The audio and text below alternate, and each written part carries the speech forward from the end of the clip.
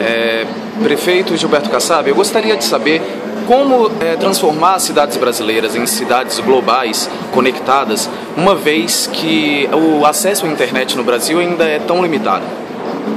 Na verdade, o que é mais importante, que deve ser registrado, é que o Brasil está no rumo.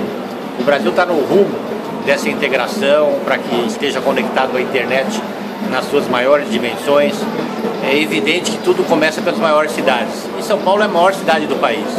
Seja aqui na Campus Party, com o exemplo que ela dá do investimento, da solidariedade do poder público, seja os investimentos do capital privado, das grandes empresas, e mais do que isso, a vontade do cidadão brasileiro estar conectado.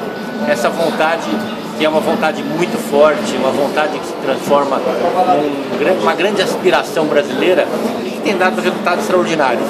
Se o Brasil não está ainda entre os, entre os países do mundo que mais dá oportunidade a seus habitantes de acesso a essa integração, o Brasil é um país que todos sabem que em alguns anos será, é, terá condições bastante avançadas nesse campo. É, prefeito, mais uma pergunta, e esse foi um tema importante na Campus Party, na, no sentido de trazer temas sociais para e a, a, sua relação com tecnologia. Eu gostaria de saber se o senhor acha que é, manifest, manifestações de preconceito na internet, sejam elas é, discriminação por raça, por cor, por região, ou mesmo manifestações de homofobia, elas devem ser punidas e como a gente pode atuar para evitar que elas se manifestem? O preconceito ele é inadmissível em qualquer dimensão, em qualquer lugar.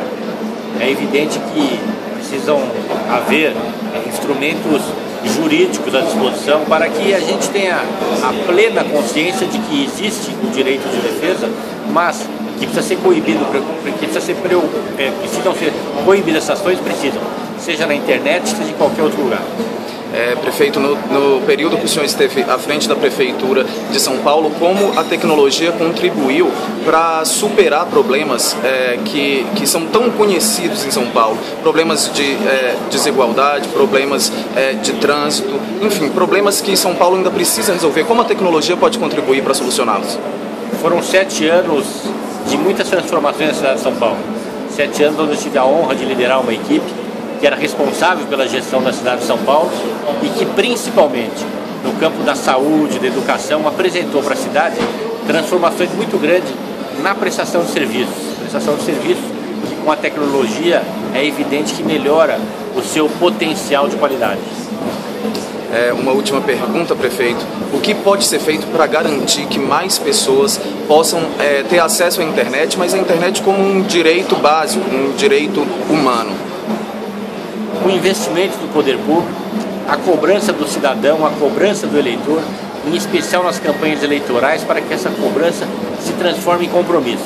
Felizmente, nas grandes cidades brasileiras, cada vez mais existe essa disposição, tanto do cidadão quanto daqueles que estão à frente da administração pública, que fazem com que nós tenhamos a oportunidade de oferecer cada vez mais acesso gratuito a todos os brasileiros.